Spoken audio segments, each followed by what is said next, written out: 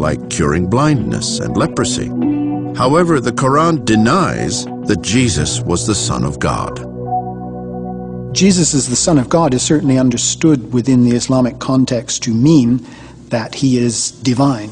And this would suggest, from the Muslim point of view, that Christians hold to different gods actually existing, whereas Muslims would hold that there can only be one God.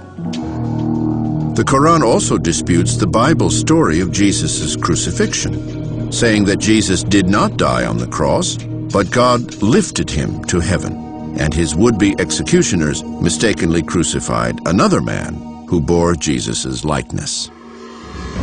Chapter 4, verse 157. They neither killed him nor crucified him, but it so appeared unto them. They did not kill him for certain. Rather, God raised him unto him. The Christian idea that Jesus died for the sins of humanity is a concept at odds with the Quran's message that all souls are responsible for their own actions. The death and resurrection is an act of salvation. It doesn't work within Islam.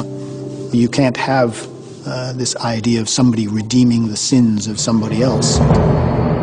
Muslims believe that it is because of distortions in the Bible that it was necessary for God to reveal His Word one final time.